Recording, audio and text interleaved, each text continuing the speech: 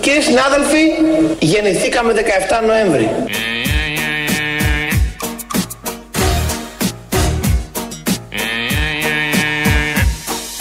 Κύριοι συνάδελφοι, γεννηθήκαμε 17 Νοέμβρη. Εγώ βλέποντας το βιογραφικό του, βλέπω ότι έχει γεννηθεί 6 Νοεμβρίου, Νοέμβρη, όχι 17, αλλά στις 6 του έτους 1972. Γεια σας, καλώς ήρθατε. Εμείς εδώ τον καταλάβαμε πάντως στον Πειραιά. Γλυκό ήταν το κούνημα, είχε διάρκεια εδώ στην, ε, στον Πειραιά, κάτω στο λιμάνι. Από ό,τι βλέπω έχει γίνει αισθητός σε όλα τα Βαλκάνια. Έγινε στο κέντρο του ελλαδικού κορμού, στην Ελασσόνα πάνω. Προς το παρόν και σύμφωνα με αυτά που λέει ο κύριος Αγοραστός, ο Περιφερειάρχης, δεν υπάρχουν ε, αναφορές για ζημιές. Αλλά είναι επιφανειακός, είναι και μεγάλο το μέγεθος. Ε, το καταγράφουμε. Βλέπω και εικόνες από τη Λάρη, έχουν βγει όλοι στου δρόμους. Λογικό, λογικότατο. Να πάνε όλα καλά. Ε, έχουμε ετοιμάσει την εκπομπή πριν από αυτό το γεγονός. Οτιδήποτε μάθουμε που είναι σημαντικό και πρέπει να το μοιραστούμε, θα το μεταδώσουμε αμέσως. Γιατί συνεχίζουμε εμείς εδώ, στο δικό μας το κλίμα, σε άλλο εντελώς ρυθμό και πάμε στους πολιτικούς αρχηγούς. Διαλέγουμε τον καλύτερο πολιτικό αρχηγό, ο οποίος ε, μας περιγράφει τι ακριβώς κάνει. Σας είπα λοιπόν πόσο αναγκαία είναι η ελληνική λύση στο κοινοβούλιο. Πόσο περήφανος νιώθω ειλικρινά μέχρι και σήμερα που δεν κάναμε ούτε ένα λάθος. Ούτε ένα λάθος, ρε παιδί. Πώς το λένε. Αυτή είναι η διαφορά μας. Γι' αυτό να νιώθετε ικανοποίηση. Ότι ψηφίσατε ελληνική λύση. Ότι γαμάει την ψήφο σας. Και νιώθω περήφανος που ειλικρινά γαμώ την ψήφο του καθενός ξεχωριστά. Ω ελληνική λύση το λέω. I think I did it again. I made you believe we're more than just friends. Ειλικρινά γαμώ την ψήφο του καθενός ξεχωριστά. Oh baby, it might seem like a crush, but it doesn't mean that I'm serious. Γι' αυτό να νιώθετε ικανοποίηση ότι ψηφίσατε ελληνική λύση. Ότι γαμάει την ψήφο σας. Ως ελληνική λύση το λέω. Και ως ελληνική λύση το κάνει. Είναι πολύ σημαντικό ότι κάποιος παραδέχεται όλο αυτό που συμβαίνει. Είναι ο Κυριάκος Βελόπουλος βεβαίως, ο οποίος ε, τα λέει όλα αυτά, τα περιέγραψε ακριβώς. Έχουμε καταλάβει κάτι από την πολιτική του παρουσία, αλλά είναι αλλιώς να το διατυπώνει με αυτόν τον τρόπο και τόσο καθαρά. Τολμάει να διατυπώσει με τέτοια διάβια αυτό ακριβώς που κάνει στην ψήφο των πολιτών. Επίσης μίλησε για την περίφημη σοβαρότητα. Έβγε κύριε Πρόεδρε, έβγε. Να είστε καλά, δεν θέλω έβγε παιδιά. Λέω το αυτονόητο, δεν λέω κάτι περίεργο. Εγώ, ακούστε λίγο, δεν είμαι σε κάτι περίεργους γραφικούς τύπους που. Α, για πάω, για πάω, για πάω, Όχι. Επιχειρήματα, προτάσεις, κριτική και κυρίως σοβαρότητα, παιδιά. Σοβαρότητα.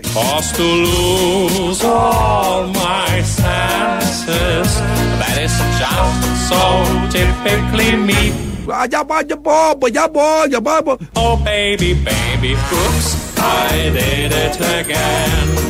I played with your heart, got lost in the game. Oh baby, baby, oops. Και κυρίως σοβαρότητα, παιδιά. Σοβαρότητα. Αυτό. Το τελευταίο να κρατήσουμε. Συνομιλία εκεί σε ένα ραδιόφωνο που έχει μια ραδιοφωνική εκπομπή. Και λέει στην κυρία την Ακροάτρια ότι πρέπει να κρατήσουμε αυτό. Σοβαρότητα. Και βεβαίως μιλώντας για τον Βελόπουλο, μόνο σοβαρότητα. Μόνο σε σοβαρότητα είναι η συζήτηση. Το πεδίο κάτω, δεν μπορείς να πεις κάτι διαφορετικό. Εκπέμπεται η σοβαρότητα από παντού. Ε, για παράδειγμα, έχει αυτά τα σκευάσματα τα οποία τα πουλάει από τις τηλεεκπομπές, τα τηλεπαζάρια αυτά. Ε, έχει πάρα πολλά, τα έχουμε καταγράψει εδώ κάθε φορά γιατί είναι και για το καλό των συμπολιτών μας. Λύνουν θέματα, αντιμετωπίζουν προβλήματα υγείας, πόνους και, και, και. Τώρα βγήκε ένα νέο προϊόν, είναι για τη χολή. Για τη χολή είναι το νέο προϊόν. Και σας καλώ στα ελάχιστα δευτερόλεπτα που έχετε μέχρι να το ακούσουμε να βρείτε όνομα του συγκεκριμένου σκευάσματος. Είναι για τη χολή. Πώς θα το ονομάζατε εσείς; Περνάει ο χρόνος, ένα, δύο, τρία. Δίδεται η απάντηση από τον ίδιο. Πάμε φίλες και φίλοι γρήγορα γρήγορα στο νέο προϊόν των ε, εξαιρετικό προϊόν της εταιρείας. Το χολυπών. Oh baby, baby, oops, you think I'm in love. Το χολυπών.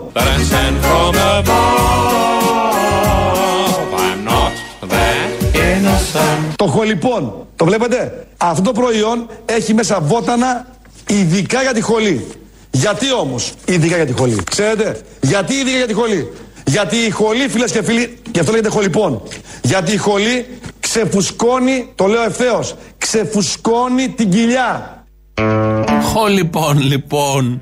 Το φάρμακο για τη χολή πρέπει να σκέφτηκαν πάρα πολύ και γενικώς πρέπει να σκέφτονται πολύ εκεί στην υπηρεσία, την αρμόδια, στα εργαστήρια του Βελόπουλου, δεν ξέρω, ε, να βρούνε τα ονόματα. Πονάνε τα έντερα, βγάζουμε σκεύασμα εντερικών. Έντερο, εντερικών. Πονάει η χολή, έχει πρόβλημα μάλλον. Ε, χολή, χολυπών. Έτσι λοιπόν έχουν φτιαχτεί. Ξεκίνησε όλη αυτή η ιστορία με το τέλοπον, τέλος των πόν. Οπότε το καινούριο φάρμακο είναι αυτό, το οποίο θα μείνουμε λίγο, θα σταθούμε λίγο σε αυτό το φάρμακο, γιατί πρέπει να μάθουμε τη σύστασή του. Είναι σημαντικό, συγκλονιστικό. Και έχει μόνο βότανα εδώ μέσα. Μόνο βότανα, παιδιά. Βότανα ειδικά. Ματζουράνα, ρίγανη, αλόη, άρνικα. Ένα σωρό. Ηλιέλαιο, ε, πορτοκάλι, εθέρεο, έλαιο, κυπαρί, σιγάρι, φαλένδρο. Μια σειρά βοτάνων που ενεργοποιούν φίλες και φίλοι τη χολή με συνέπεια να μην παχαίνετε. Δείτε εδώ. Είναι, είναι, είναι εκπληκτικό, παιδιά. Όσοι το πήραν έμειναν κατενθουσιασμένοι. Γιατί η χολή είναι η μυστική δύναμη στο να μην παχαίνει ο άνθρωπος. Δείτε εδώ. Νάτι. Η κυρία αυτή σε λίγες μέρες τη βλέπετε. Με το χολυπών τι έκανε. Υποβοήθησε τον οργανισμό της και αυτή η κυρία έγινε έτσι. Έτσι, φαντάζεστε, δεν χρειάζεται να τη βλέπετε. Πώς ήταν η κυρία και πώς θα έγινε μετά το χολυπών. Ε, έρχονται και πλάνα σιγά σιγά από την Θεσσαλία και από τα Τρίκαλα, είναι εσωτερικά των σπιτιών. Οι πολυέλαιοι, πολύ δυνατό κούνημα. Βλέπω κόσμος έξω στη Λάρισα, τηρούν αποστάσεις, φοράνε μάσκες όλοι, έχουν βγει στις πλατείες. Είναι λογικό, δεν είναι και μαθημένοι σε αυτές τις περιοχές σε τόσο δυνατούς σεισμούς. Εμείς εδώ έχουμε μια εμπειρία, να μην χρειαστεί ποτέ να την χρησιμοποιήσουμε και να την αξιοποιήσουμε. Ε, έχουμε νεότερο. Βασιλή; Σωστικά συνεργεία πέφτουν στο Μεσοχώρι μετά τις αναφορές ότι ένας άντρας εγκλωβίστηκε στο σπίτι του όταν κατέρευσε τείχος μετά το σεισμό των 6 ρίχτερ που σημειώθηκε στον Τύρναβο. Η σύζυγό του κατάφερε να βγει από αυτό. Το επίκεντρο του σεισμού εντοπίζεται 21 χιλιόμετρα νοτιοδυτικά της Ελασσόνας και σε εστιακό βάθος 10 χιλιόμετρων. έχουν γίνει αρκετοί μετασυσμοί με πιο δυνατό 4,6 ρίχτερ και να σημειώσουμε ότι η δόνηση έγινε αισθητή σε Αθήνα και Θεσσαλονίκη. Μάλιστα, αυτά από την αίθουσα σύνταξης. Ό,τι νεότερο έχουμε το μεταδίδουμε. Ε, διάβαζα και στο Twitter νωρίτερα πριν μπούμε εδώ στην εκπομπή ότι έχει συνεχώς μετασυσμούς και είναι ένα συνεχόμενο ε, τρέμουλο της γης. Το περιγράφουν οι άνθρωποι από εκεί. Οτιδήποτε νεότερο το παρακολουθούμε, βασιζόμαστε στις ε, περιγραφές και στις ε, δηλώσεις των επισήμων και στα καταγεγραμμένα, όχι στα σενάρια ή σε αυτά που ξέρετε εσείς. Ένα μεσονημέρος πρέπει σε αυτά να καταφεύγει σε επίσημες αναφορές όπως αυτή τώρα που ακούσαμε στο χωριό αυτό που σπέβδουν τα σωστικά συνεργεία. Στα υπόλοιπα τη επικαιρότητα, αφού σας είπαμε και για το χολυπών, μια πολύ καλή είδηση μέσα σε όλη αυτή τη μαυρίλα των ημερών. Ε, ο κύριος Χατζηδάκης είναι υπουργός ε, πια εργασίας. Σε εισαγωγικά η λέξη εργασία. Το υπουργός μην το βάλουμε σε εισαγωγικά. Έτσι λοιπόν βγήκε να μιλήσει για το περίφημο και περιζήτητο, θα μπορούσε να πει κάποιος, 8ωρο. Ακούω γελώντας αυτά τα οποία λένε ότι θα καταργηθεί το 8ωρο. Καλά, δεν αμφιβάλλω ότι και όταν παρουσιαστεί το νομοσχέδιο θα υπάρχουν μερικοί που κολλημένοι θα λένε ναι, το καταργείτε κτλ. Διότι έχουν Γιατί κάνει το, το αποτέλεσμα εκ των προτέρων. Πού βασίζονται και το λένε αυτό; Που, δηλαδή, κοιτάξτε, θα φέρουμε κάποιες διατάξεις οι οποίες θα αφορούν τη λεγόμενη διευθέτηση του χρόνου εργασίας. You see my problem is this. I'm dreaming away, wishing that heroes that truly exist. Οι οποίες θα αφορούν τη λεγόμενη διευθέτηση του χρόνου εργασίας. I cry watching the names. Can't you see I'm a fool in so many ways; Ακούω γελώντας αυτά τα οποία λένε ότι θα καταργηθεί το 8ωρο. Προφανώς. Καλά κάνει και γελά. Είναι δυνατόν να φανταστεί κανείς να του περάσει από το μυαλό. Είναι κάποιοι κομπλεξικοί, ναι. Ότι θα καταργήσει αυτή η κυβέρνηση το 8ωρο. Διευθετήσεις θα γίνουν. Το είπε πολύ σωστά. Δεν καταργείται το 8ωρο. Γίνεται μια διευθέτηση με άλλον ένα νόμο που έρχεται. Τον ρώτησαν οι δημοσιογράφοι, στο Μέγκα βγήκε. Τον ρώτησαν οι δημοσιογράφοι τι ακριβώς είναι αυτή η διευθέτηση χρόνου που τόσο ωραία την περιγράφει. Η διευθέτηση του χρόνου εργασίας, να σας πω ναι. τι σημαίνει. Να σας πω Αν δουλέψω 10 ώρες, θα πάρω, θα πάρω το 2 ώρο το επιπλέον; Εφ- θα πάρετε Αρχίδια Baby Oops. Oops I did it again. I played with your heart. Got lost in the game. Θα πάρετε Αρχίδια Oh baby baby Oops. You think I'm in love Πω, για πω, για πω. But I'm sent from above I'm not that innocent θα πάρετε μετά από με, με συμφωνία με τον εργοδότη θα, θα πάρετε εάν δουλέψετε 10 ώρες μετά από κάποιο χρονικό διάστημα θα δουλέψετε 6 ώρες Α, αυτά είναι για το καλό σας γίνονται όλα. Η διευθέτηση αυτή είναι μόνο για το καλό του εργαζόμενου. Θα δουλεύεις 10 ώρες τώρα, 2 ώρες πάνω από το 8ωρο, αλλά κάποια στιγμή σε συνεννόηση πάντα με τον εργοδότη. Και ξέρουμε πώς γίνονται αυτές οι συνεννοήσεις. Σε φωνάζει ο εργοδότης, έλα παιδί μου, κάτσε εδώ. Πόσες ώρες θες να μην δουλέψεις, έχεις δουλέψει παραπάνω. Αυτά δικαιούσε, αυτά είναι τα νόμιμα. Σου χτυπάει και την πλάτη, σου δίνει και ένα μπόνους. Έτσι γίνονται αυτές οι δουλειές. Έτσι το φαντάζεται ο κύριος Χατζηδάκης. Έτσι λοιπόν θα γίνει αυτή η περίφημη διευθέτηση. Βλέπω εδώ πολλοί ακροατές, είστε εμπαθείς και συνδυάζετε τα αυριανά γενέθλια του Κυριάκου Μητσοτάκη με αυτά που συμβαίνουν στη χώρα και με αυτό που συνέβη πριν ε, μία ώρα περίπου, ακριβώς ναι, ε, με αυτό που συνέβη πριν μία ώρα, το σεισμό δηλαδή στην Θεσσαλία. Δεν είναι σωστό αυτό, είναι εμπάθεια, σας τυφλώνει, δεν μπορείτε να ε, δείτε παραπέρα και να ε, αντιμετωπίσετε κατάματα και σωστά τη ζωή και τις δικές σας ευθύνες. Γιατί υπάρχουν και ευθύνες όπως όλοι ξέρουμε. Δεν ξέρω αν είναι γρουσούρης ο Κυριάκος Μητσοτάκης. Ο προηγούμενος που χτες ανακοίνωσε το νέο ΕΣΥ είναι γουρλής.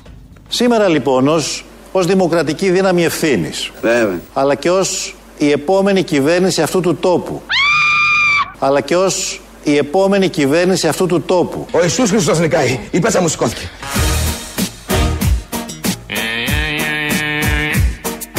Αλλά και ως η επόμενη κυβέρνηση αυτού του τόπου, Όλα είναι ατμός. αλλά και ως η επόμενη κυβέρνηση αυτού του τόπου, ανακοινώνουμε δημόσια το σχέδιό μας για την, για την υγεία. Με αυτό που κάνει θα, θα ξανααναβιώσει μια συζήτηση για τη δράση του ένοπλου και της τρομοκρατίας όπως λέγεται αν και κανείς δεν έχει τρομοκρατηθεί πιστεύω εγώ από τη δράση αυτών των οργανώσεων μόνο, μόνο, μόνο, μόνο Ποιων οργανώσεων; Εννοείται των ανθρώπων που διαδηλώνουν. τρομοκρατικών. Ναι, κανείς δεν έχει τρομοκρατηθεί από τη 17 Νοέμβρη. Θέλει μεγάλο ταλέντο πραγματικά να είσαι στέλεχος του ΣΥΡΙΖΑ, να είσαι ΣΥΡΙΖΑ σήμερα. Θέλει μεγάλο ταλέντο. Ε, Το πρώτο απόσπασμα του Αλέξη Τσίπρα ήταν από την ανακοίνωση χθες που έκανε, παρουσίαση του νέου ΕΣΥ, όταν θα ξανάρθουν στα πράγματα, όπως ακούσαμε την επόμενη κυβέρνηση. Οκ, τα προσπερνάμε αυτά.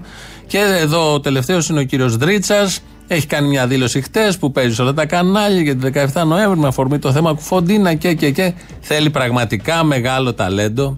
Τη μέρα που ο πρόεδρος του κόμματος έχει διαλέξει να παρουσιάσει κάτι για να πέσουν τα φώτα εκεί, να βγαίνει κάποιος και να πέφτουν τα φώτα αλλού. Να είναι έτοιμοι οι άλλοι να ρίξουν τα φώτα αλλού και να δίνεις λαβές. Συνεχώς και συνεχώς. Το κάνουν συνέχεια. Αυτό γκολ, για να μην πω την άλλη λέξη που αρχίζει από μα και τελειώνεις σε λακίε.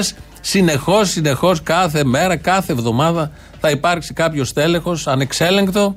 Θα βγει να πει την παπάντζα του χωρίς να λογαριάζει τίποτα απολύτως. Αυτό ζούμε τους τελευταίους μήνες. Το είδαμε και χθες για άλλη μια φορά. Επανάσταση. Έρχεται επανάσταση από την επόμενη κυβέρνηση. Το εσύ τολμάμε να το σχεδιάσουμε ξανά. Τολμάμε να το σχεδιάσουμε σωστά. Τολμάμε να προτείνουμε μια μικρή επανάσταση στον χώρο της υγείας. Κάναμε επανάσταση. Και σε εμάς δεν λέτε τίποτα; Ένα νέο εσύ που να ανταποκρίνεται στις ανάγκες όλων των πολιτών ισότιμα. Και σε εμάς δεν λέτε τίποτα; Που να ενισχύει τα νοσοκομεία και όλες τις δημόσιες δομές. Αυτά λέει ο Αλέξης Τσίπρας. Σήμερα θα έχουμε και ανακοινώσεις, αν δεν αλλάξει κάτι λόγω του σεισμού. Δεν φύγει ο Χαρδαλιάς δηλαδή και θα πάει πάνω. Ανακοινώσεις για το νέο έξυπνο lockdown. Αν έχετε ακούσει, καταρχάς θα έχουμε νέο lockdown. Ε, πριν 15 μέρες, πριν 20 μέρες, βάλανε ένα νέο lockdown στο υπάρχον lockdown, το οποίο το προ 20 ημέρου lockdown ήταν τύπου Μαρτίου. Σήμερα θα ανακοινώσουν lockdown πάνω στο lockdown του lockdown, πάλι τύπου Μαρτίου. Ξανά μανα, τα ίδια. Και τώρα λέει θα είναι έξυπνο αυτό το lockdown. Βέβαια θα το ανακοινώσει ο Κικίλιας το απόγευμα, δεν ξέρω πώς ταιριάζουν αυτά τα δύο. Αλλά Σε αυτή την κυβέρνηση έχουμε δει όλες τις αντιφάσεις μαζεμένες. Βλέπουμε και αυτήν. Βγαίνουν τώρα οι επιστήμονες ένα-ένα και λένε τι βλακεία που ήταν αυτό για τις 6 το απόγευμα του Σαββάτου. Το είπε η κυρία Ματίνα Παγώνη το πρωί που βγήκε. Αλλά η κυρία Ματίνα Παγώνη δεν είπε μόνο αυτό. Έδωσε και μια διέξοδο. να πούμε αλήθειες, νομίζω ότι ένα 15 μέχρι 15 Μάρτη φτάνει, Φτάνει. να μπορέσουμε να προχωρήσουμε εάν όλοι προσέξουμε τα μέτρα της ατομικής προστασίας, τα μέσα μαζικής μεταφοράς και το τονίζω, τα μέσα μαζικής μεταφοράς που πρέπει όλοι να δείχνουμε ιδιαίτερη προσοχή. Ας καθυστερήσουμε, να μην ανέβουμε σε ένα λεωφορείο που είναι γεμάτο, ας πάμε με το επόμενο, ας πάμε με το επόμενο, ας πάμε με το επόμενο. Καθότι όλοι γνωρίζουμε ότι το επόμενο λεωφορείο δεν θα είναι γεμάτο.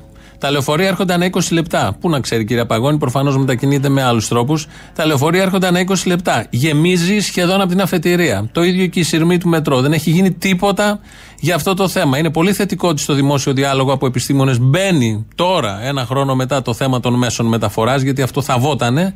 Αλλά έχει γίνει η ίδια σπορά του ιού από την πρώτη μέρα και στο δεύτερο lockdown και στο τρίτο lockdown και στο έξυπνο lockdown και στο χαζό lockdown. Πάντα τα μέσα μεταφοράς ήταν ένα θέμα. Το έθιγαν με κάποιο τρόπο εργαζόμενοι, σωματεία, φορείς, συλλογικότητες. Όμως όχι, δεν πέρναγε στα μέσα ενημέρωσης, πέρναγε μόνο με ηρωνία και με κάτι ε, παπάντζες του τύπου θα πάρουμε 300 λεωφορεία, θα πάρουμε 800 λεωφορεία, θα, οι σειρμοί θα φεύγουν νωρίτερα. Τίποτα από αυτά δεν έχει γίνει.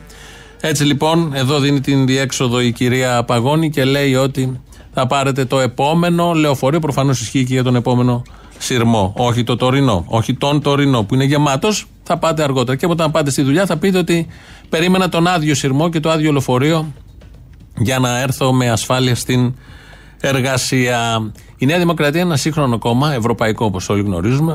Δεν χρειάζονται αποδείξεις γι' αυτό. Τους ακούς να μιλάνε και καταλαβαίνεις ότι είμαστε στον 21ο αιώνα. Για παράδειγμα, ο κύριος Αθανασίου, βουλευτής της Νέας Δημοκρατίας, από τη Μυτιλίνη μάλιστα, ε, πρώην δικαστικός, άρα έχει ασχοληθεί πολύ με δικαιώματα. Ήταν και υπουργός, αν δεν κάνω λάθος. Ναι, δικαιοσύνης. Δικαιοσύνης, ο κύριος Αθανασίου. Από το Προεδρείο της Βουλής προχθές που προείδρευε, είπε το εξής. Αλλά εγώ να πω ένα πράγμα, ότι φταίει και η νομοθεσία, κύριε Αναγνωστοπούλου, η πολιτεία, τα νομοθετήματα που έχει περάσει και τα διαστήματα που έχουν επεκτείνει τα φαινόμενα αυτά, όπως παραδείγματος χάρη, να είμαι γενικότερα τώρα, δεν μιλάμε επί της ουσίας του θέματος, καταργήθηκε η παραφή σε ασέλγεια και εντάθηκαν τα φαινόμενα αυτά. Καταργήθηκε η παραφή σε ασέλγεια και εντάθηκαν τα φαινόμενα αυτά. Θυμηθείτε πότε καταργήθηκε και κάτω από ποιες προϋποθέσεις. Ορίστε κύριε Υπουργέ. Μιλάει για το θέμα Λιγνάδη. Και βρήκε τη λύση ο κύριος Αθανασίου από την παλιά, πολύ παλιά μουχλιασμένη σχολή σκέψης να μιλήσει για την παραφύσια ασέλγεια έτσι διατυπωνόταν στους νόμους των δεκαετιών 50, 60 αρχαιότητα για τα δικαιώματα ε, η ομοφιλοφιλία. Και συνδέει την παιδεραστία τον παιδοβιασμό και την σεξουαλική κακοποίηση με την ομοφιλοφιλία και ως αιτία θεωρεί ότι καταργήθηκε από τον ποινικό κώδικα η παραφύσινα ασέλγεια στο 2021 βουλευτής της Νέας Δημοκρατίας που λανσάρεται ως μοντέρνο και σύγχρονο κόμμα. Στην, ε, στο ίδιο θέμα ο Κούγιας ο δικηγόρος ε, μίλησε για τον ε, Καπουτζίδη. Καπουτζίδης, γνωστός Γιώργος Καπουτζίδης, σεναριογράφος, έχουμε γελάσει, έχουμε ταξιδέψει με τα σύριάλ του, με τον ίδιο, σε παίξήματα, σε παρουσιάσεις σοου και διάφορα τέτοια, δεν χρειάζεται καμία ιδιαίτερη σύσταση. Είπε λοιπόν ο Κούγιας. Ιδιαίτερα λέει για τον Καπουτζίδη, αυτό το νέο πρότυπο της κοινωνίας, είπε ο Κούγιας, που στην εκπομπή του Σπύρου Παπαδόπουλου στην υγεία μας επί τρεις ώρες ανέλυε παρουσίαζε τον έρωτά του με τον σύντροφό του, ο οποίος το αφιέρωνε και τραγουδούσε τραγούδια ενώπιον των φυσιολογικών οικογενειών μας και των φυσιολογικών παιδιών μας, ο Κούγιας τα λέει αυτά, και ενώπιον εκατομμυρίων τηλεθεατών, και ο οποίος, για τον Καπουτζίδη πάντα, τόλμησε για να προσβάλλει την τιμή και την υπόλοιψή μου και να θίξει το φυσιολογικό τρόπο δημιουργίας οικογένειας και ανήρθε σε μια φωτογραφία του με, μετά από μια επίθεση από μπράβο για την οποία κρεμεί ποινική δικογραφία που του επιφυλάσσουν ιδιαίτερη μεταχείριση στα δικαστήρια κτλ. κτλ. Εννοεί τη φωτογραφία με το τακούνι με την τακουνιά που είχε φάει τότε το γνωστό επεισόδιο που όλοι θυμόμαστε. Μέσα σε δέκα σειρές, δεκαράδες, τρεις φορές λέει τη λέξη φυσιολογικός, φυσιολογικός, αφήνοντας να νοηθεί ότι ο Καπουτζίδη και κάθε ομοφυλόφιλος σε αυτόν και σε άλλους τόπους δεν είναι φυσιολογικός και παραμένει δικηγόρος με άδεια από το Δικηγορικό Σύλλογο της Αθήνας και είμαστε στο 2021 να ακούμε αυτά από τον Αθανασίου και αυτά από τον Κούγια. Κάθε σοβαρός δικηγόρος, κάθε σοβαρός δικαστής, κάθε σοβαρός πολιτικός, κάθε σοβαρός άνθρωπος, κάθε άνθρωπος είναι αυτός που δεν χωρίζει τους ανθρώπους σε φυσιολογικούς και μη. Είναι αυτός που δηλώνει δημόσια, χωρίς ναι μεν αλλά και χωρίς αστερίσκους, ότι ο τρόπος ζωής του καθενός είναι απόλυτα φυσιολογικός, απόλυτα φυσιολογικός, ανεξάρτητα από τη σεξουαλική του, το σεξουαλικό του προσανατολισμό, από τις επιλογές και τα γούστα του. Όλα τα άλλα, όλες οι άλλες απόψεις, όλες οι άλλες δηλώσεις είναι κατάντια. Ο Καμπουτζίδης είναι ένα ευτυχισμένο παιδί, μεγάλωσε σε μια ολοκληρωμένη οικογένεια, γι' αυτό είναι ευτυχισμένο και επιτυχημένο παιδί. Ακούστε τι λέει για τον πατέρα του. Είναι μια πολύ σημαντική μέρα για μένα σήμερα, γιατί σήμερα ο μπαμπάς μου γίνεται 90 χρονών. Είναι τα γενέθλιά του. Θέλω να του στείλω όλη μου την αγάπη και είμαι πολύ συγκινημένος γιατί ο μπαμπάς μου, εγώ καταρχάς είμαι πολύ περήφανος για αυτόν και είναι και αυτός πολύ περήφανος για μένα. Και είναι πολύ σημαντικό αυτό και κάναμε πολύ δύσκολη διαδρομή για να φτάσουμε σε αυτό το σημείο. Γιατί πάντοτε στην αρχή ένας γονιός θα σε κοιτάξει με φόβο, θα σε κοιτάξει με, ίσως με αμφισβήτηση, θα σε κοιτάξει με στεναχώρια. Και τώρα έχω φτάσει στο σημείο να βλέπω την περηφάνεια στα μάτια του. Και αυτό με έκανε ευτυχισμένο. Και ο λόγος που ήρθα εδώ δεν ήρθε εδώ για να επιτεθώ σε κάποιον. Αν θέλει να πάμε σε δικαστήρια, φυσικά και θα πάω, δεν το συζητάω, όλοι μόνο. Ο λόγος που ήρθα εδώ είναι γιατί επειδή είπε ότι είμαι πρότυπο. Δεν είμαι εγώ. Ο πατέρας μου όμως είναι. Και μακάρι όταν τελειώσει αυτή η συνέντευξη, κάποιος πατέρας να κοιτάξει τον γκέι γιο του ή την γκέι κόρη του με περηφάνεια. Όπως με κοιτάει και εμένα ο μπαμπάς μου. Αυτό θα είναι το κέρδος από αυτή τη συζήτηση. Δύο κόσμοι εντελώς διαφορετικοί, δύο σχολές ήθους, δύο άνθρωποι ε, σε άλλο μήκος κύματος. Διαλέγετε και παίρνετε. Θέλετε να είστε φυσιολογικοί, Θέλετε να είστε μέτροι, γιατί και αυτό έχει ακουστεί. Τις τελευταίες 10-15 μέρες έχουμε ακούσει πάρα πολλά και τα οποία ξεπερνάνε τις αντοχές, τις απλές αντοχές που μπορεί να έχει ο καθημερινός άνθρωπος. Παρ' όλα αυτά τα ακούμε, τα καταγράφουμε, τα αξιολογούμε. Πάμε στην Τρίπολη, επειδή αύριο έχουμε τσικνοπέμπτη και γενέθλια Κυριάκου Μητσοτάκη. Ένας ε, συμπολίτης μας ετοιμάζεται. Και την Πέμπτη, τσικνοπέμπτη, θα πάμε να πιούμε, να ψήσουμε τις, τα παϊδάκια, τις μπρετζόλες. Ε; Πού θα πάτε; Στην Κάρτσοβα εγώ θα πάω. Α, θα πάτε και πάλι έξω, ε; Ναι, έξω, ναι, τι να κάνουμε. Και θα πάμε και να ψήσουμε τα παϊδάκια μας, τις μπρετζόλες μας. Θα το κλετήσουμε. Πάμε μήπως με το γλέντι ήρθε και, έρθει και καμιά καμπάνα. Κάνα Εννέα άτομα, ε, θα πληρώσουμε. Εννέα άτομα κιόλας, ε. Ναι, και θα πληρώσουμε και 300 ευρώ, δεν λέει τίποτα. Α, δεν λέει τίποτα. Στο κράτο. υπάρχουν. Στο κράτος θα πληρώνουμε, κατάλαβες, εντάξει, δεν είναι ότι τα πληρώνουμε πουθενά αλλού και το κράτος θα μας τα ξαναδώσει. Πάρτα να μη στα χρωστάω.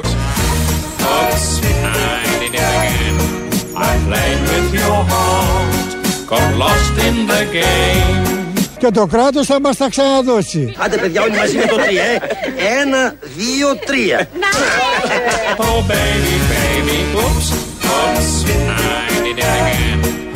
Για πάω, για πάω, για πάω, για πάω.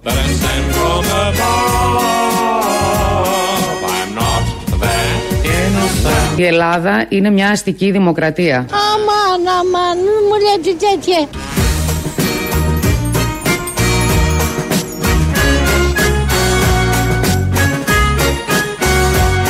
Η Ελλάδα είναι μια αστική δημοκρατία. Α!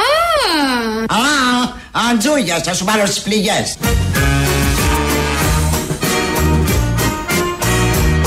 Κύριοι συνάδελφοι, γεννηθήκαμε 17 Νοέμβρη.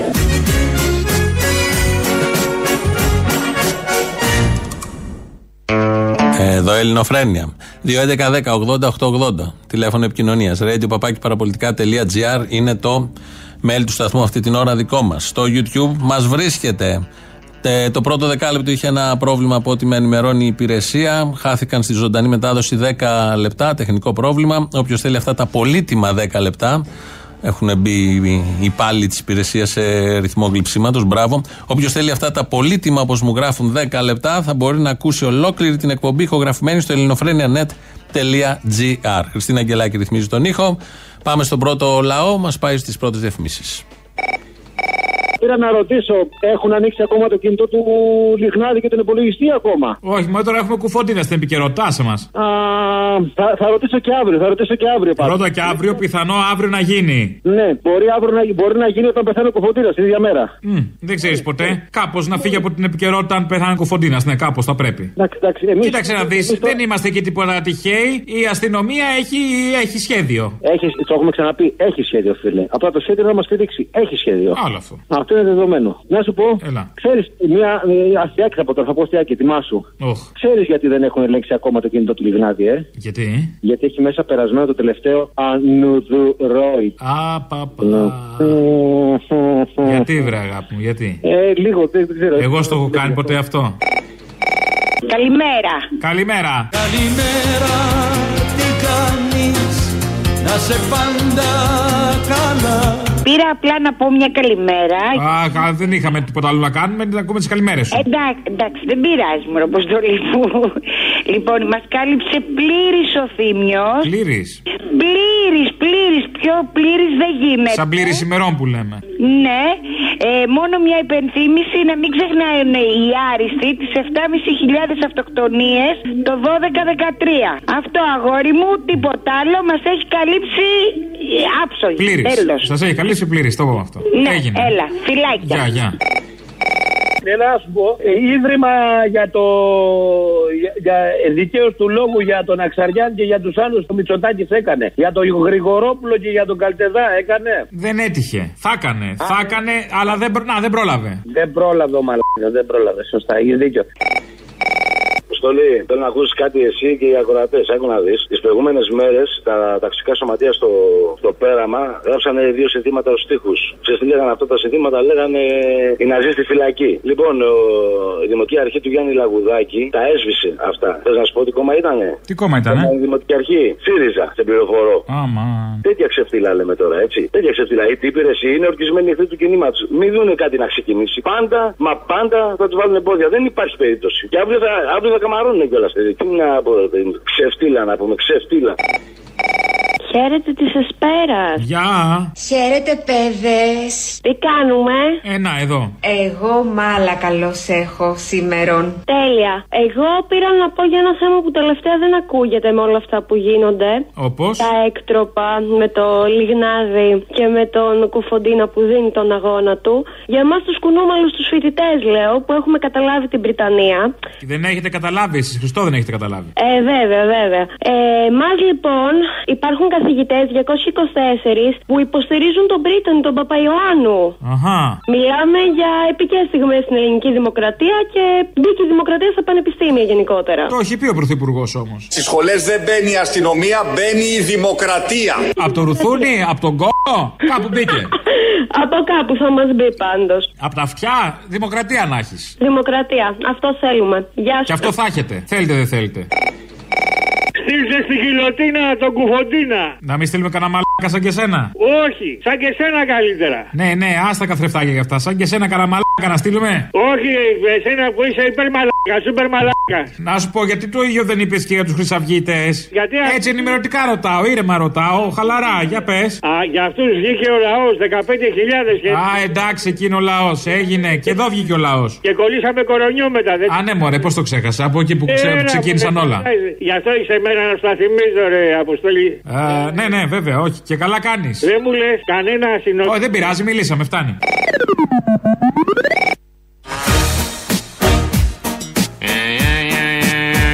Για πάω, για πάω, για πάω, για πάω.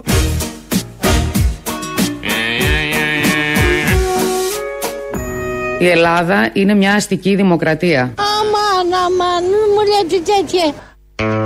Και όμως, κυρία μου, είναι μια αστική δημοκρατία.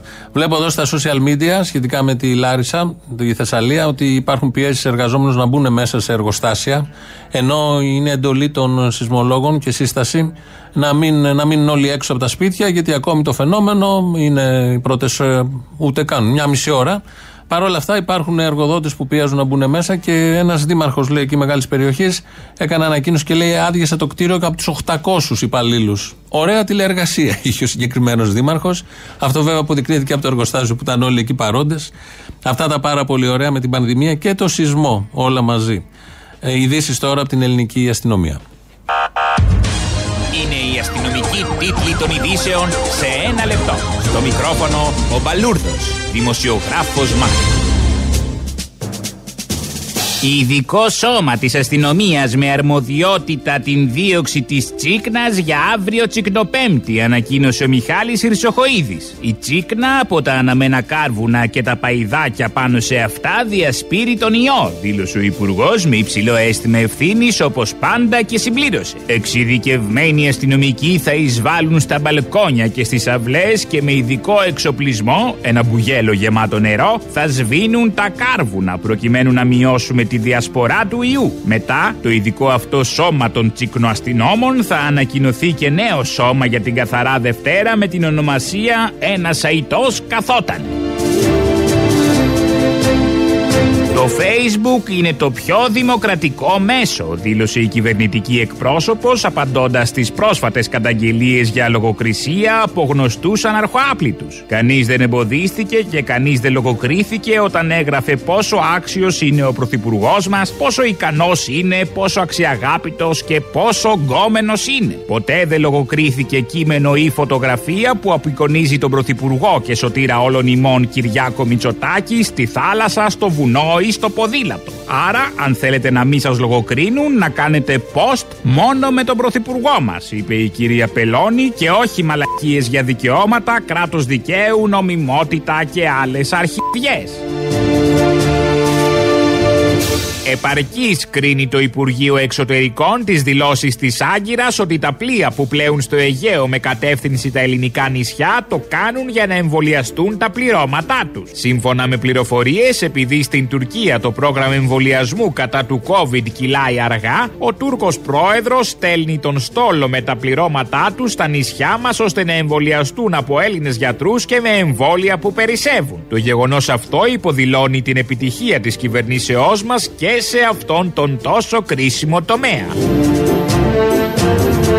Στο ίδιο θέμα παραμένουμε. Από τηλεοπτικές εκπομπές θα μοιράζονται τα εμβόλια που περισσεύουν σύμφωνα με απόφαση του Υπουργείου Υγείας. Συγκεκριμένα, στο τέλος κάθε εκπομπής θα μοιράζονται από 40 εμβόλια σε τηλεθεατές που τηλεφωνούν παίρνοντας μέρος στον διαγωνισμό με τίτλο Μπίξτο και εσύ. Μέχρι τώρα τα κάναμε σε κυβερνητικά στελέχη και μέλη της ΟΝΕΔ. Τώρα που ολοκληρώθηκε ο κατάλογος των στελεχών μας, αποφασίσαμε να εμβολιάσουμε και την πλεμπ. Ε, ε, όχι την πλεμπ, όχι πλεμπ. Ε, το, το, το λαό και το λαό να εμβολιάσουμε. Δήλωσε στέλεχος του Υπουργείου Υγείας, το οποίο έχει εμβολιάσει πάνω από 25 συγγενείς του πρώτου, δευτέρου και τρίτου βαθμού. Καιρός. Μη σας μπερδεύει που έβγαλε ήλιο, αυταρχισμό θα βρέξει πάλι. Και γκλοπιές.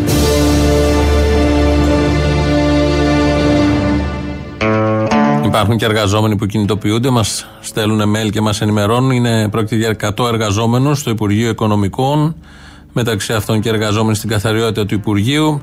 Ε, είναι με συμβάσεις ορισμένου χρόνου, οι οποίες λήγουν 31 Μαρτίου. Το γνωστό, η γνωστή αμαρτωλή ιστορία με τις με τις συμβάσεις ορισμένου χρόνου. Καλύπτουν κανονικές ανάγκες, όπως συμβαίνει πάντα.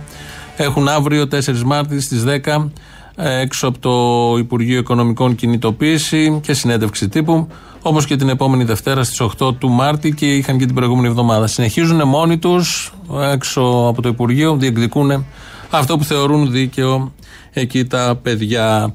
Άλλα παιδιά κάνουν παράνομα κορονοπάρτι, όπως πληροφορούμαστε. Κάνω εγώ τα πάρτι. Δηλαδή, καλή κόσμο στο σπίτι σου; Δεν νοικιάζουμε Airbnb αυτό που κάνουν όλοι τελευταία και πάμε δώσε. Δώστε πόνο. Ποτό, ναργιλέ. Όποιος έρθει. 2 εκατομμύρια 117.440 συμπολίτες μας το μήνα. Αυτό που κάνεις, καταλαβαίνω ότι είναι επικίνδυνο. Υγεία να έχουμε. Η μαλακία είναι υγεία. Το τελευταίο σου πάρτι πότε το έκανες; Τι έχουμε σήμερα, πριν κάνα δεκαήμερο. Μαγειρεύω και το πάρτι μου. Κοιμισμένες κρέπες, καλοκαιρινές πασχαλίτσες, λαχανικά μπλουμ, καβουρομανιτάρια, παντεσπάνι, τούρτας κατζόχυλο, τούρτας δεινόσαυρος. Μουσική όλα κανονικά, μάσκες αποστάσεις ποτέ. Μάσκα. Μάσκα δεν φοράμε, αλλά εντάξει. Μια σερβιέτα αντί για μάσκα στο, στο πρόσωπο. Πώς το κανονίζετε, το ραντεβού; Το συζητάμε μέσω facebook. Το facebook ή στο tiktok. Και πηγαίνουμε. Το κανονίζουμε ή κάνα Airbnb, σπίτι και τα σχετικά. Αυτό το σπίτι το χτίσαμε εμείς οι δυο. Χτίστηκε έτσι, είναι απλό, απέριτο, δεν είναι μεγάλο. Παραπάνω από δεν περνά τα 550 τετραγωνικά μέτρα. Λέμε λίγα άτομα και μαζευόμαστε μετά. Όπα τέτοια! Ένας-ένας! Πώς νοικιάζετε Airbnb, τι λέτε; Γεια σου, είμαι ο Κυριάκος Μητσοτάκης. Το τελευταίο πάρτι που πήγες πόσα άτομα είχε; 20 άτομα. Της επιχρήμασης εκδηλωμένη γυναικός το σιδηρούν και κλείνομαι! Ο ένας πάνω στον άλλον. Καύλα. Ε, τα πάρτι έτσι γίνονται συνειδητά, αναλόγως και το χώρο τώρα. Καλά θα γίνει χαμός. Κάπου πρέπει να ξεδώσουμε. Τα κρυφά πάρτι είναι το εμβόλιο πριν το εμβόλιο. Από ρεπορτάζ ε, που είδαμε χθες στο Sky, εμβολισμένο. Μπορεί και εμβολιασμένο με δικά μας ηχητικά. Λαός τώρα, μέρος δεύτερον. Έλα μάνα μου! Μα αγάπη μου εσύ. Πού είσαι τόσο καιρός; Εγώ δεν μπορώ να πω. Σ' ακούω, ε, αλλά δεν σε φέρνω, ξέρεις τώρα, μην το, μην το, μην το παραχύσουμε κιόλα. Λοιπόν, να αρχίσουμε καταρχήν με το ΣΥΡΙΖΑ. Του, του, του. Σκατά στο στόμα μου. Ε, θα πάμε και στους άλλους μετά, τους βαριούς δεξιούς. Τους σημερινούς δηλαδή. Μ, Πολύ βαριούς δεξιούς. Ναι, ναι, αυτή Επειδή βαράνε πολύ. Σωστό.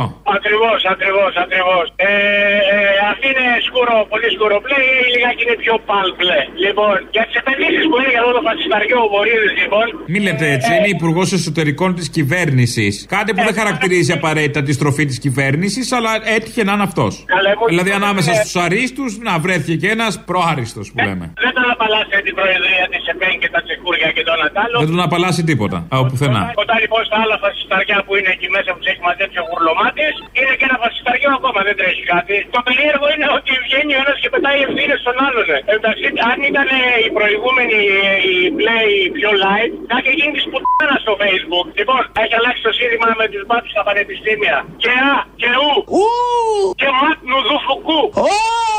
Ματ, όχι δαπ, γεια. Το ίδιο ήταν πάντα. Έλα, ρε Αποστολή.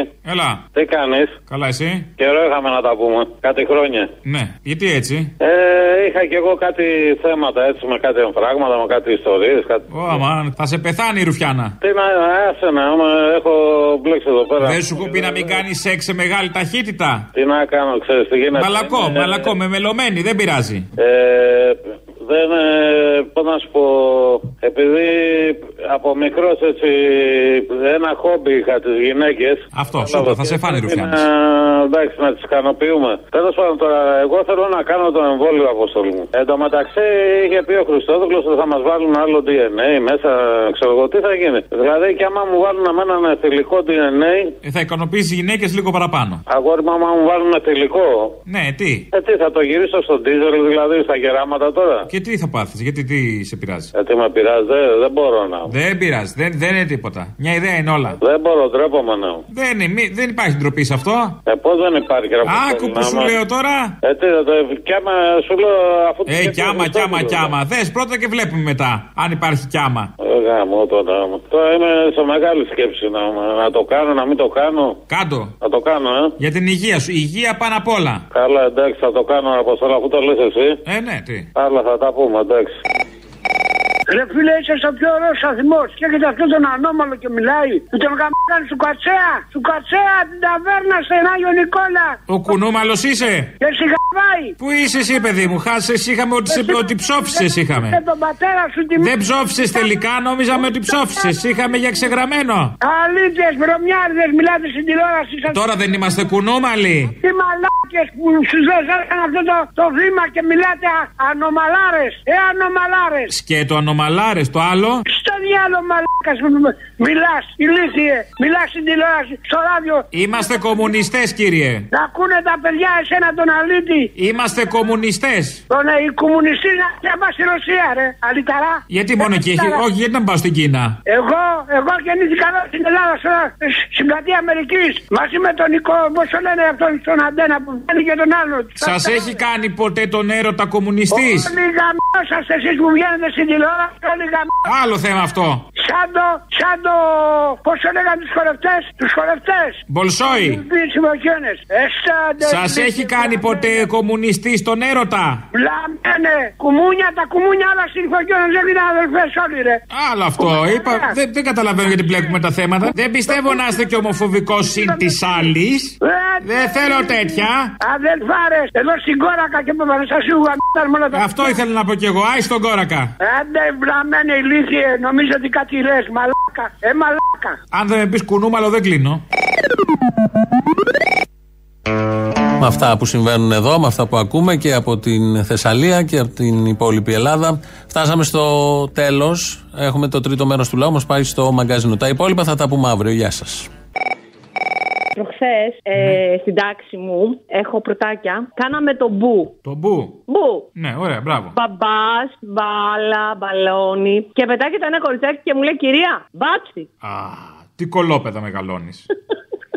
τι διδάσκεται σε αυτά τα σχολεία πια; Γυρίζω και τη ρωτώ, ε, τι σημαίνει Αυτό; δεν είναι βιασμός ανηλίκου; Μου λέει, ε, εμείς κυρία τους αστυνομικούς τους λέμε μπάτσου. Μα σε τι σπίτι μεγαλώνουν αυτά τα παιδιά, να τα πάρουν τώρα, πού είναι η πρόνοια; Αυτό έτσι θα τους λένε για πάντα. Όλοι οι άνθρωποι και τα εξάχρονα θα είναι μπάτσι για πάντα. Και θέλω να ρωτήσω εναντίον αυτών των μπάτσων που στο ΑΠΙΘΙΤΑ έσυραν ε, το φοιτητή με το κεφάλι του να χτυπάει πάνω στο δρόμο, θα γίνει κάποια ιδέα. Έλα τώρα το κάναμε μόδα αυτό το I can breathe. Πάνε και χτυπάνε τα κεφάλια τους από εδώ και από εκεί και πάνε και πνίγονται. Έλα τώρα μόδες; Δεν υπήρχε κα- και καμιά ζαρτινιέρα κοντά. Η ζαρτινιέρα είναι παλιά, παλιά μόδα. Είναι παλιά μόδα. Μάλιστα. Πάνε Ε, τώρα, να σου πω- χτυπιούνται μόνοι τους να γίνουν viral. Να, όπως τότε με τη ζαρτινιέρα. Ορίστε. Εν τω μεταξύ, όταν μου είπε το κοριτσάκι. Λες και το μπάτσι, χτύπησε κανείς. Πάει, πέφτει πάνω στον μπάτσο. Τι θα κάνεις αν πέσει πάνω στον μπάτσο, θα χτυπήσεις. Φοράει, είναι σαν αστακό δημένο. Βλέπεις η δημοκρατία πώς είναι εντυμένη. Η δημοκρατία είναι εντυμένη έτσι, σαν αστακό. Τι πας και πέφτεις πάνω στη δημοκρατία; Όποιος έπεσε πάνω στη δημοκρατία, χτύπησε.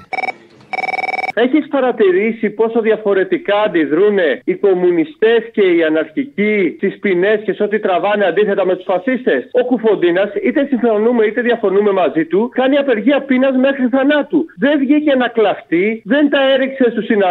στους συντρόφους του, δεν ζητάει επίοικια και να ζητάει συγγνώμη και να λέει ήμουν μικρός και με παρασύρανε. Θυμάσαι ποιοι τα κάνανε αυτά; Για θυμίσέ μου, κάτι μου θυμίζει κάτι φασισταριά, αν δεν κάνω λάθος. Μπράβο, μπράβο, κάτι χρυσαυγίτες. Που μιξοκλέγανε και λιποθυμούσαν στα δικαστήρια, κάτι θυμάμαι. Μπράβο, ναι, και έδινε ο ένα τον άλλον. Καλά, και που εξαφανίστηκε κιόλας ο ένας. Μπράβο, ναι. Και θα σου πω και άλλα δύο περιστατικά που δείχνουν αυτό που σου λέω. Ο Δήμαρχος Ραφίνα, για τον οποίο μιλήσαμε χθες και τον κάνατε και θέμα, είχε πει ότι το πρώτο πράγμα που θα κάνει τη Δευτέρα θα είναι να πάει να υπογράψει για το πρόσημο στην Original. Ο Δήμαρχος Ραφίνα δεν πήγε καν στο Δημαρχείο του Ικότα και του απάντησε η Original: Μη φοβάσαι, δεν θα σου κάνουμε τίποτα και θα σου δώσουμε αξία. Να σου πω κάτι, ο παπάς έμαθα ψάχνει να βρει τον ταξιτζή που είχε πάει τον κουβοντίνα στη Γαδά για να πάει και αυτός να παραδοθεί. Ναι, ναι, αυτό ακριβώς. Ε, ναι, τον έχω, τον έχω. Είναι βέβαια μεγάλος. Τώρα έχουν περάσει 20 χρόνια. Λυσάξτανε, ρε φίλε, με τον κουφοντίνα. Λυσάξτανε με τον κουφοντίνα. Δεν πειράζει έτσι να φοβούνται. Να σου πω κάτι, τα εξάρχεια καθαρίσανε. Ναι, από τους ναρκέμπορους κυρίως. Ναι, από τα, τα εξάρχεια. Κάτι βόμβες που σκάνε στο Μαρούσι, στη Γλυφάδα, στην Καλιθέα, στο Νέο Κόσμο. Τι Είναι ήταν που αυτά; ηρέμησαν τα εξάρχεια. Φύγαν από τα εξάρχεια, κατάλαβες. Ναι. Έχει κάνει διασπορά παρακρατικών ο Χρυσοχοίδης. Τι να κάνει; Τα υγρά τελικά είναι ασυμπίεστα όπως και οι αναρχικοί. Τους διώσαν τα εξάρχεια, πάνε αλλού. Να σου πω κάτι, ρε φίλε, μισό λεπτάκι. Εγώ θα ήμουν γιο Μητσοτάκης με σπίτι 500 τετραγωνικά στην Αθήνα. Με σπίτι στα Χανιά. Με σπίτι στο Βολτέρο, εκεί στο Παρίσι. Με σπίτι δίπλα από του Χριστοφοράκου στην Τίνο. Και καθόμουν να πλακώνομαι με τους αναρχικούς και με τον Κουφοντίνα. Τι θα γίνει, δηλαδή, ε, ο- ε, σου μιλάω, από- δηλαδή αυτή τη στιγμή ασχολούμαστε με το κάθε μαλακισμένο που δεν έχει τι να κάνει στη ζωή του και ασχολείται με με πράγματα για να βασανίσει τον κόσμο. Σου μιλάω ειλικρινά. Ναι, λοιπόν, να συνεχίσουμε λίγο το ρεπορτάζ της Μάνδρου και να της πούμε για αυτά τα παιδιά τους ε, μπάτσους ότι αυτά τα παιδιά μάνα δεν είχαν να τους δώσει ένα χάδι όταν ήταν μικρά, ένα μπαμπάκα, να παίξει μαζί τους ένα ποδόσφαιρο, μια τρίλιζα, μια γιαγιούλα, να τους φτιάξει μια σπανακόπιτα. Πώς καταντήσαν έτσι, τι οικογένειες είχαν και γεννηθήκανε με τέτοιο, μεγαλώσανε με τέτοιο μίσος; Τα παιδιά αυτά που βρισκόντουσαν σε ένα σπίτι και ξενυχτάγανε και υφίσταντο αυτό που υφίσταντο. Μάνα πατέρα δεν είχαν. Και μ, να πούμε μια, επειδή είμαι πολύ νοικοκυρά, τα ρούχα, Ναι, ρε, είμαι. Ε, τα ρούχα, όταν τα πλένεις στους πολύ δυνατούς βαθμούς, ξεχυλώνουν, ξεβάφουν, σκατά γίνονται. Δεν είναι για ξαναφόρεμα. Πιο χαλαρά να τον πλένουν αυτό το λιγνάδι και το μυτσοτάκι στους λιγότερους βαθμούς. Γιατί θα ξεχυλώσει, λες, ε; Θα ξεχυλώσει, θα ξασπρίσει, δεν θα είναι μετά πάλι ε, του πεταματού. Λοιπόν, ε, και- Ενώ τώρα δεν είναι του πεταματού. Τέλος πάντων.